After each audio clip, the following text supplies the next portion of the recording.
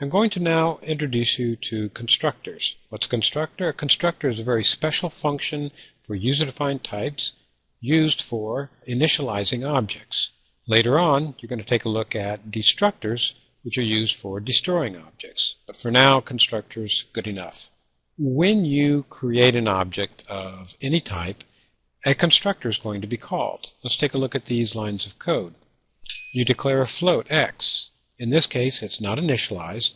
A constructor is called for that primitive type, and the compiler communicates with the operating system to secure the memory and do all the background work to identify that memory location as being a C++ object, and in this case, giving it an initial value. Here's a different format for doing exactly the same thing. Here, you're passing 7.2 to the constructor to give that initial value to that float. Okay, so what happens when you want to declare an object of your user-defined type fraction? Will this line of code compile? The answer is yes, actually.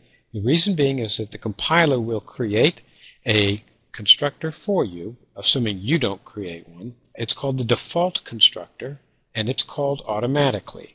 So in this line of code, then, the compiler will call the default constructor, which goes through the steps of securing the memory from the operating system, and you're left with the values that are in that memory location for F. So it has a random numerator and denominator. If you were to output it, there's no telling what might come out.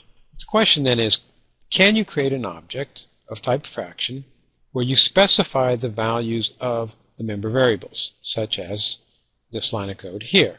Okay? Can I create a fraction I guess not.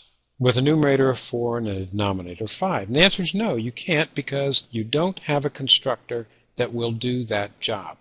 Can you create one? Yes, the answer is you can. Let's see how you can. Constructors are very special. There are some special rules that we must learn first. Number one, the name of every constructor is the name of that class. So for our fraction class, the name of the constructors are fraction. Two, Constructors have no return type, and that's not void either, and hence there is no return statement in the body of the constructor. You can overload constructors, and you almost certainly will do so. When you write one constructor, you'll probably write another one.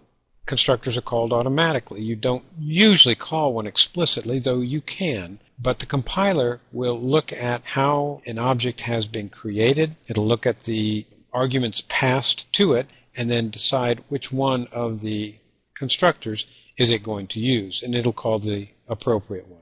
If you write no constructor for your class, then the compiler is going to create the default constructor for you, just like we did with our fraction class. We have no constructor at this point, and so that line of code, fraction f, will compile because there is a default constructor. But that mechanism is going to be suppressed if you write any constructor whatsoever. Once you write a constructor, then the compiler will no longer give you a default constructor. That's very important because you almost certainly will need a default constructor. Not always, but most likely you'll need one. Once you write a constructor, you don't have one anymore, so you have to create it also. So if you write one constructor, most likely you're going to write a default constructor along with it. So let's take a look at the first constructor. For our fraction class, here it is. Of course, its name is fraction. Notice that it has no return type. We're going to pass to it two integers, one for numerator, one for denominator. And here's the code for the definition. Again, no return type. We scope it as a fraction function. Its name is fraction. And we're going to have it set the numerator to num, denominator to den, the two values that are sent in. Okay, once again, we don't return anything. No, there's no return type, not an int. It's not void, and we don't have any return statement course, we can declare a float like that, like that, like this. And what about this guy here? Can we do that? Well, no, not anymore. We can't. But what about this last guy? Oh, man. We're trying to set the denominator to zero. Well, that's not very wise. And the way we've written our constructor right now, that's going to happen we passed in a zero, and we're going to assign to the denominator a zero. Well, can we do better than that? Well, of course we can. take a look at our second generation constructor. The difference is that I have called my setNum and setDen functions. So I'm going to let that setDen function take care of the possibility of passing in a zero. Let me show you another way to write the definition of a constructor. And this syntax is only good for constructors, not with any other functions. It's called an initialization list. And the syntax is when you close the parenthesis here on the parameter list, then you're going to put a colon and then a comma delimited list of the member variables. You do not have to initialize all of them, but you should initialize them in order. Furthermore, it, uh, the way you do initialize them is with the parenthesis. In other words, if I were to write m underscore numerator equals num, that would not compile. You can't do that. You cannot use the equals. It has to be with the parenthesis. So I've set numerator to num and denominator to den, and note that you have to have a body to the constructor. Even if it's empty, you have to have a body. This is an initialization list. And the nice thing about it is it's fast.